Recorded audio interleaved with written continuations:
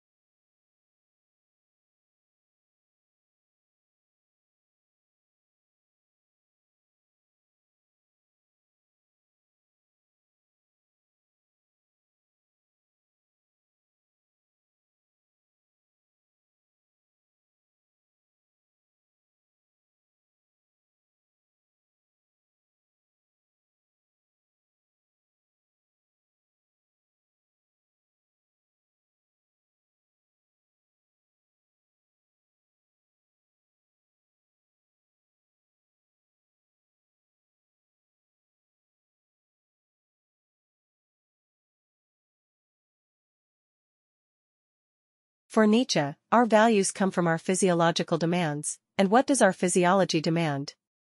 Power. It wants to survive and thrive. What does it mean to thrive? To imagine the world a certain way and to be able to make that illusion a reality. Someone could try to contest this idea by saying that they don't seek power or want to thrive, they won't eat or drink anything to prove this point. But, they would still be seeking a kind of power, they imagine a world in which they prove the idea wrong and they seek to bring that world into fruition, even at their own expense. 87. So then begs the question, what if we cover the entire desert with solar panels? How much energy would we actually be able to produce, and how would this change our planet? Let's take a deep dive. For starters, let's begin here. This is the Ouarzazate solar power station in Morocco, the world's largest concentrated solar power plant currently in existence in a marvel of modern engineering. Once fully completed and operational, the plant will take up an area of 25 square kilometers and be capable of producing 582 megawatts of electricity.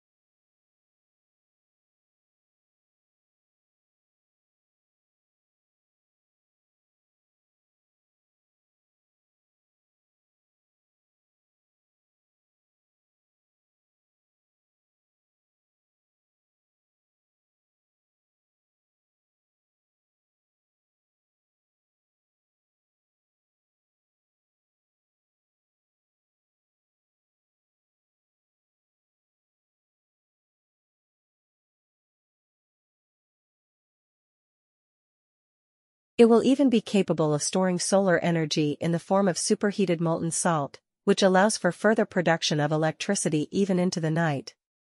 After investing more than $9 billion into their solar energy objective, Morocco aims to create four additional plants similar to this one in the Sahara that will collectively create more than 2,000 megawatts of electricity production, which will be enough to provide for roughly 38% of all of Morocco's annual electricity needs. This project will transform Morocco into the world's leading solar energy state. And as the only African country that currently has a power cable linked to Europe, much of this energy will be exported for profit to the countries of the European Union. But all of this energy is created from just five relatively small plants.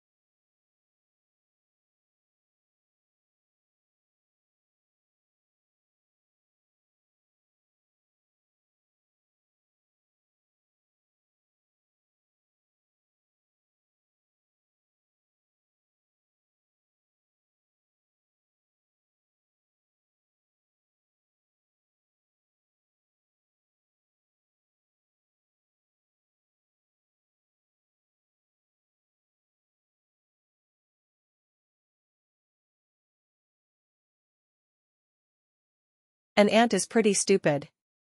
It doesn't have much of a brain, no will, no plan, and yet, many ants together are smart. An ant colony can construct complex structures. Some colonies keep farms of fungi, others take care of cattle. They can wage war or defend themselves. How is this possible? How can a bunch of stupid things do smart things together? This phenomenon is called emergence, and it's one of the most fascinating and mysterious features of our universe. In a nutshell, it describes small things forming bigger things that have different properties than the sum of their parts. Emergence is complexity arising from simplicity, and emergence is everywhere. Water has vastly different properties to the molecules that make it up, like the concept of wetness. Take wet fabric, if you zoom in far enough, there is no wetness. There are just molecules sitting in the spaces between the atoms of the cloth.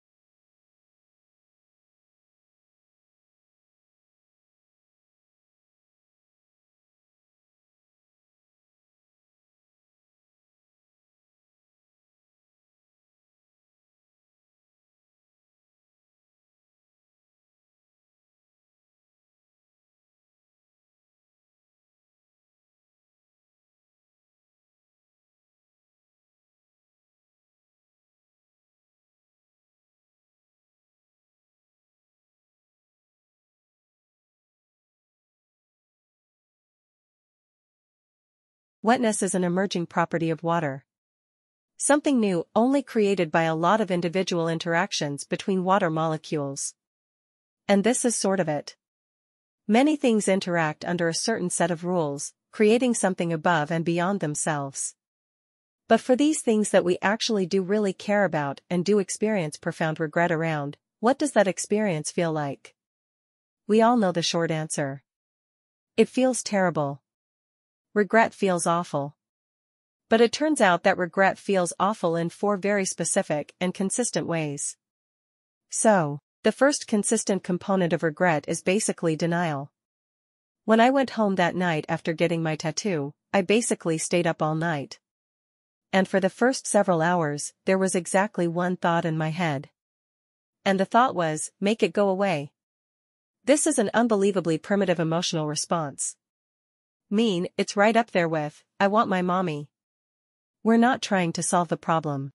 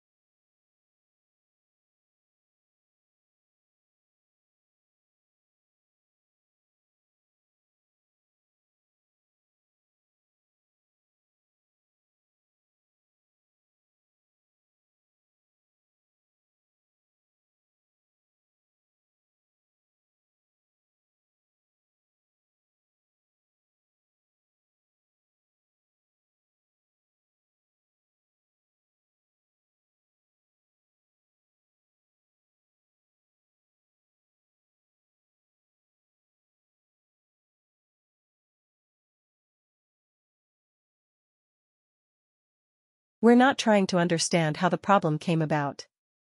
We just want it to vanish.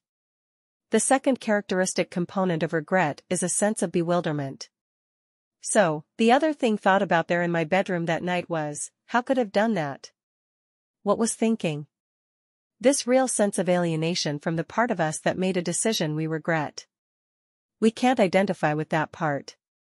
We don't understand that part. And we certainly don't have any empathy for that part, which explains the third consistent component of regret, which is an intense desire to punish ourselves. That's why, in the face of our regret, the thing we consistently say is, I could have kicked myself. The fourth component here is that regret is what psychologists call perseverative. To perseverate means to focus obsessively and repeatedly on the exact same thing. Now the effect of perseveration is to basically take these first three components of regret and put them on an infinite loop. So, it's not that I sat there in my bedroom that night, thinking, make it go away. It's that I sat there and I thought, make it go away. Make it go away. Make it go away. Make it go away. So, if you look at the psychological literature, these are the four consistent defining components of regret.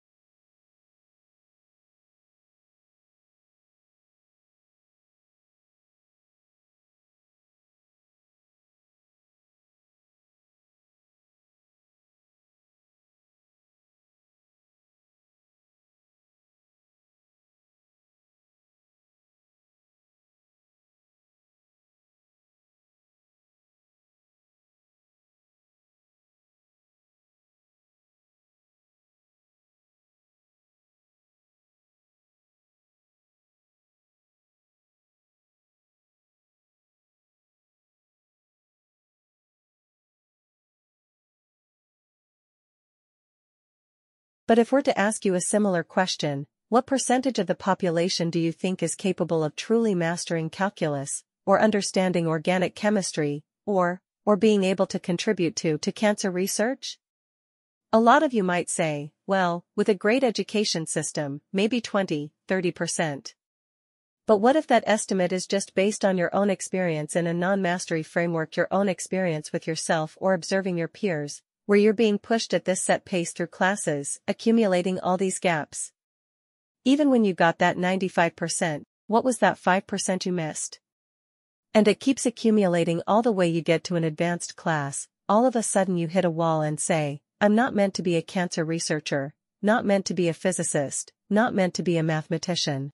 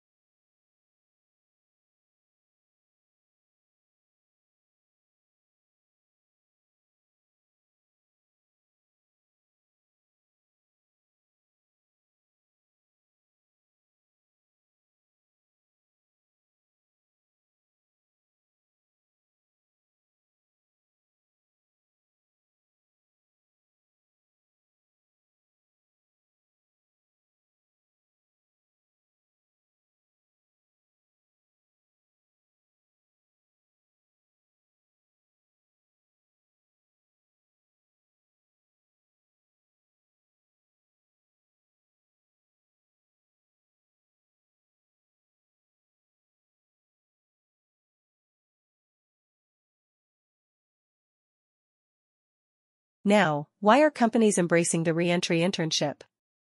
Because the internship allows the employer to base their hiring decision on an actual work sample instead of a series of interviews, and the employer does not have to make that permanent hiring decision until the internship period is over. This testing out period removes the perceived risk that some managers attach to hiring relaunchers, and they are attracting excellent candidates who are turning into great hires. Think about how far we have come. Before this, most employers were not interested in engaging with relaunchers at all. But now, not only are programs being developed specifically with relaunchers in mind, but you can't even apply for these programs unless you have a gap on your resume. This is the mark of real change of true institutional shift because if we can solve this problem for relaunchers we can solve it for other career transitioners too. In fact, an employer just told me that their Veterans Return to Work program is based on their reentry internship program, and there's no reason why there can't be a retiree internship program. Different pool, same concept.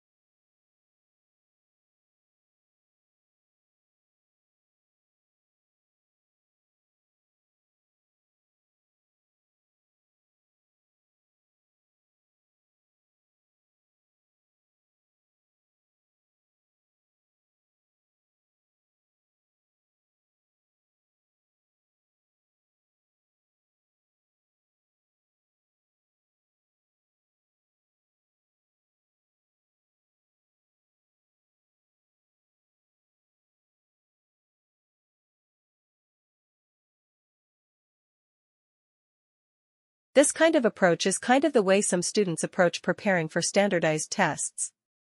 In order to get test scores to go up, teachers will end up teaching to the test. Now, that approach can work, test results often do go up. But it fails the fundamental goal of education, to prepare students to succeed over the long term. So given these obstacles, what can we do to transform the way we transform organizations? So rather than being exhausting, it's actually empowering and energizing? To do that, we need to focus on five strategic imperatives, all of which have one thing in common, putting people first. The first imperative for putting people first is to inspire through purpose. Most transformations have financial and operational goals. These are important and they can be energizing to leaders, but they tend not to be very motivating to most people in the organization. To motivate more broadly, the transformation needs to connect with a deeper sense of purpose. Take LEGO. The LEGO Group has become an extraordinary global company,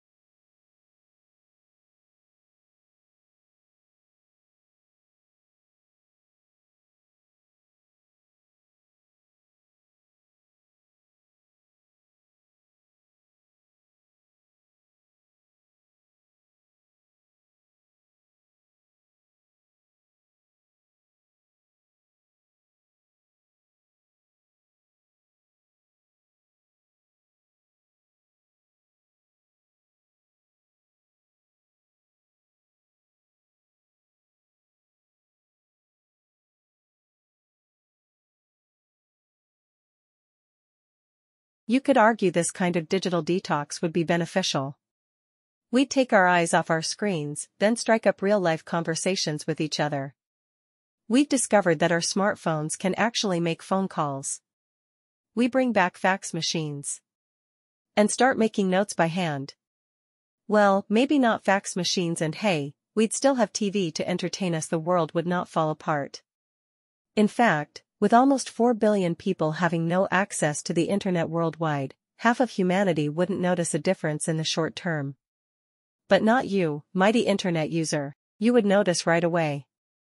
If the internet suddenly flatlined, social media users would start calling each other on the phone overloading the working telecommunication systems, unless cell phone towers and telephone lines were also shut down.